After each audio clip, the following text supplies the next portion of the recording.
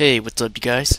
Today I will be showing you guys how to download YouTube videos and in HD, high quality, or any other format you would prefer. So you're gonna have to need to download this program. There are many ways I believe to do this on Windows, but personally I use this option. It's basically a free program. As you can see here, it's called YouTube Downloader and it's free. I will be giving you guys a link to the program to download it in the slide. Excuse me. So basically what would you do is you see the bar here it says enter video URL. So let's say you want to download this video. It's a short video so I can do it quickly. You copy the link. Just mouse your move your mouse over the bar and it will automatically paste the link. After that you have a few options. YouTube download quality you want to download it in normal quality, high quality, or high definition, whatever you prefer. Or you can select best available, which basically means it will download at the best quality there is.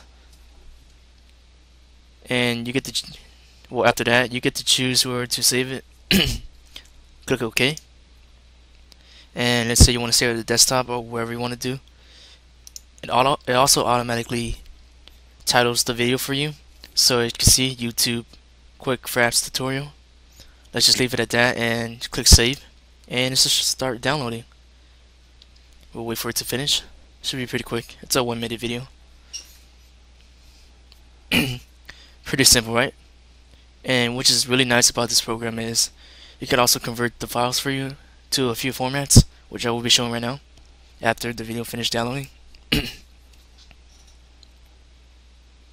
Almost done, 83%.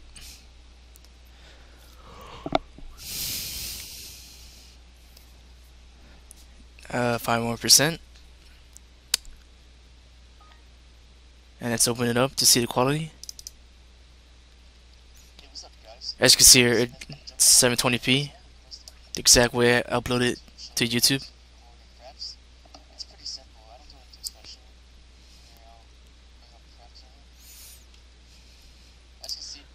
If you're wondering where's the sound, I have my headset plugged in so you can't really hear it. But anyways, if you wanted to convert it just click this tab right here. And there's a list right here. You can convert it to dot quick or QuickTime movie basically iPod video size. You convert it to iPhone video MPEG 4 PSP video a cell phone video H.263 3G 3GP Windows Media Video version 7 XVID MPEG 4 codec basically AVI or MP3 and yeah, that's just a way to download YouTube videos on Windows XP. This also works on Vista and Windows 7, I believe. And that's it. Hope you guys enjoyed this tutorial, and I'll see you guys later. Thanks for watching.